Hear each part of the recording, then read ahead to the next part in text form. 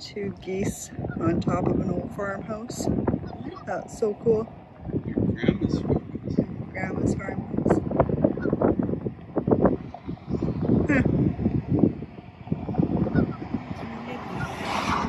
Yeah.